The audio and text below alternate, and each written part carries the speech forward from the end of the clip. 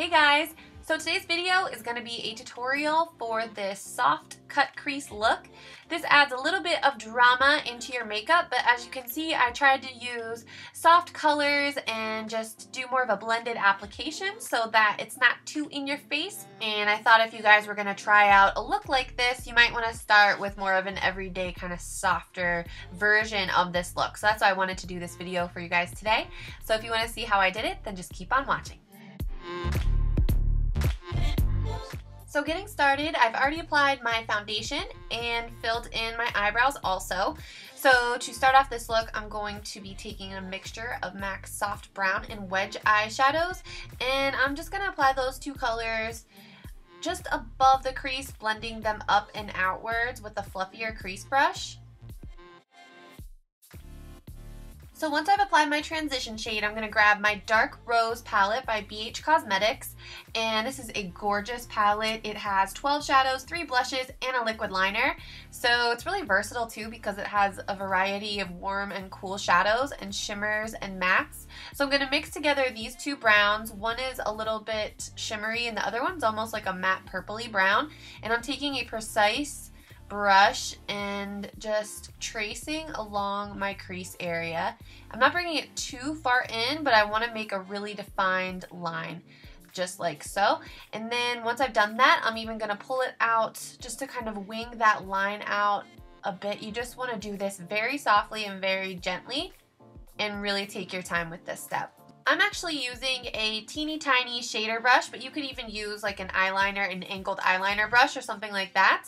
Now I'm going to pick up this Wild Child palette from BH Cosmetics, and this has nine baked eyeshadows, and they're really, really gorgeous and really highly pigmented also. So I'm going to take this cooler brown on a smaller fluffy brush and you want to pick something that you can blend a tiny area with that's going to be nice and precise anything small and fluffy should do the trick. So I'm just using that color to blend upwards and kind of just diffuse the top edge of that harsher line that we drew before and also just winging it out a little bit in the outer corner too. And you can actually apply these shadows wet or dry.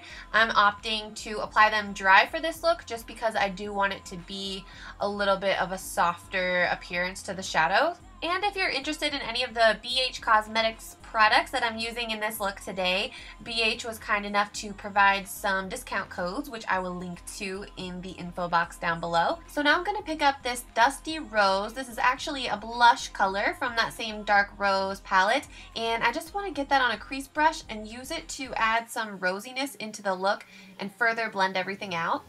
So now I just want to make that line a little bit more crisp. So I'm going to take this cream eyeshadow in Gold Dust by Motives Cosmetics and it never fails, I always throw a brush across the room by accident in every tutorial. So here I'm just applying that cream shadow with a flat concealer brush to the lid, and that's really going to help to sharpen up the crease line that we have down and also just really make it look a lot more crisp and clean. And I'm also flicking that outwards like we did with the brown shades. If you would use like a white eyeshadow base or a white cream shadow, this would make it pop even more and be even more defined. But this one, again, is just a little bit more of a shimmer to it. It gives a bit of a softer look.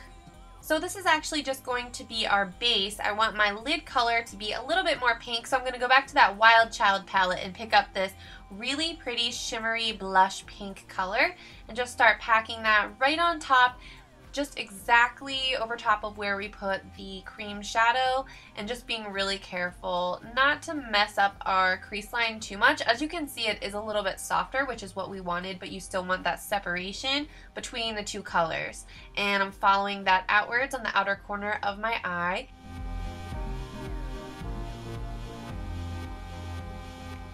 Now I'm going back to one of the warm brown shadows that I used before and I'm just taking that, actually it's a different brush than I used for the crease line, but it's a similar smaller shader brush. I'm just going to fill in the outer corner of my lower lash line and kind of wing out the lower lash line just so that it mirrors the shape of our crease. And then I'm going to mix together these two colors in the Wild Child palette and just blend out the lower lash line and kind of continue it all the way in with a bit of a fluffier brush. You just want to make sure to really buff out that line and diffuse it. And then I'm going to take this shimmery white shadow and use that to highlight my inner tear ducts. And then we're pretty much almost done with the eye makeup. I just want to use my MAC Prep and Prime highlighting pen in Light Boost just to clean up my under eye area and sharpen the outer corner of my makeup. So once I've blended that product in, I'm going to set it with the lighter side of my NARS Olympia Contour Blush. And then I'm going to go on to set my foundation in one second with the Benefit Hello Flawless Powder in Never Settle Petal. I'm Just dusting that all over. So then I'm going to reach for the BH Liquid Liner from the Dark Rose palette. And this is kind of like a little marker, a little eyeliner pen, which makes it a bit easier because you kind of want to do the wing for your eyeliner a little bit lower than it normally would be because you still want to see that lighter color in between the crease and the eyeliner. So I'm actually just pulling out a line straight from where my lower lash line would continue upwards and that's going to make sure that you can still see your cut crease and your makeup. So I'm just thickening that up until I get it to the desired intensity that I'm looking for. And then I'm going to take my Benefit They're Real Mascara and just comb that really quickly through my lashes. And before I pop on my falsies, I'm going to use my Anastasia Covet Covet waterproof eyeliner. And this is just in a black color. And I'm kind of filling in just that very outer corner of my eye just to make the color look like it continues all the way around. Then I'm going to apply my House of Lashes Iconic Lashes. I usually wear these with a darker lid, like a darker eye look, but I wanted to try them out with this look today. So moving on, not sure exactly what's going on here, but now I'm going to bronze my skin using the Skinny Dip Bronzer by Bare Minerals.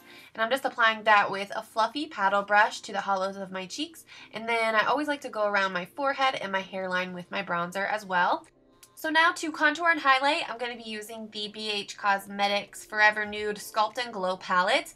And this is in the light medium shade. So I'm going to be taking that center color right here on a tinier kabuki shaped brush and just applying that, just wrapping it around my cheekbones to get more of a defined look to my cheekbones. I'm also going to contour my nose with that and try not to poke myself in the eye with my brush and also go around a bit of a smaller area this time around my hairline. And I'm thinking I could definitely use a little color on those cheeks. So I'm going to pick up the pretty pink blush shade from that palette and apply that right to the apples of my cheeks. And sometimes I feel like it definitely does help me to smile, to find the apples of my cheeks. No shame in my game. Then I'm going to go back in with the highlighter. So I'm going to sweep that across my cheekbones for a pretty highlighted glow. You can see how gorgeous that color is. Then I'm going to take off whatever lip color I was wearing here and apply my MAC Boldly Bare Lip Pencil to my lips.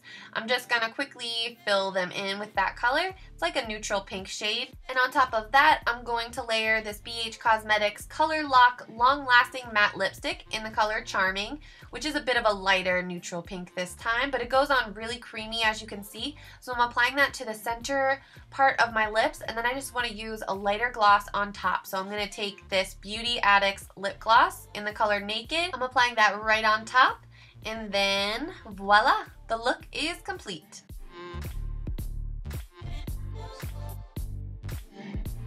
So I really hope you guys enjoyed this tutorial and I hope you try out this soft cut crease look at home. It's just something fun that you can try out when you feel like doing something a bit different with your makeup. So thank you guys so much for watching. I love you guys and I will see you very soon in my next video. Bye!